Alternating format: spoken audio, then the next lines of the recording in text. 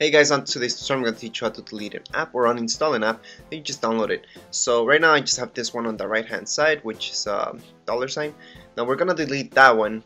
Uh, in order to do that we just have to hold our finger on top of the app for about 2 seconds and then it's going to start doing this. You can keep holding it, it doesn't matter.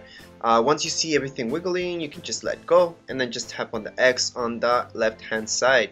Once you tap on that, that you can just put delete and for some apps it will tell you if you want to remove its data okay? Uh, most of you want to do that because you don't want to keep that on your phone or even on iCloud. It doesn't really matter.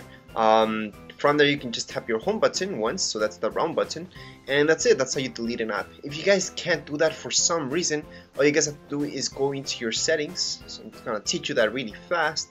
Right here on settings once you go into settings you just have to go into restrictions and turn them off okay? So once you guys do that you guys can do and delete anything move apps around and everything. Um, also by holding your finger on top of any app you can move it around. So you can move it up here down there and everything okay?